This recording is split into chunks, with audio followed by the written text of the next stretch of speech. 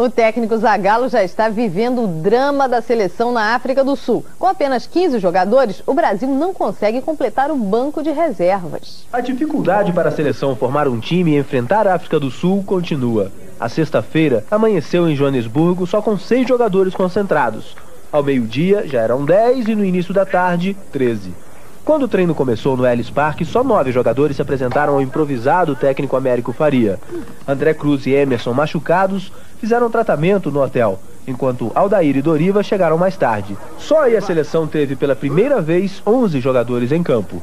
No treino que começou devagar, num ritmo quase sonolento, esses 11 jogadores surpreenderam e mostraram uma vontade de 22. A prova foi na disposição e no aproveitamento mostrados nos chutes a gol. Quem pagou a conta para tanto entusiasmo foi o goleiro Dida. Ainda sem reserva, ele não pôde ser substituído em nenhum momento. Mas para o pelotão de fuzilamento, Dida era vítima, sem direito à clemência.